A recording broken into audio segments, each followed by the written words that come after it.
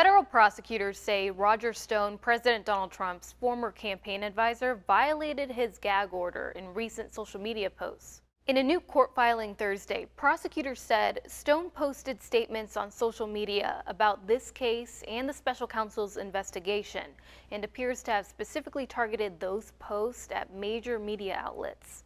Stone has pleaded not guilty to charges of lying to Congress, obstruction of justice, and witness tampering. Those charges were all connected to allegations he tried to contact WikiLeaks before the 2016 presidential election with the goal of hurting Hillary Clinton's campaign. WikiLeaks later published emails stolen from prominent Democrats, including Clinton.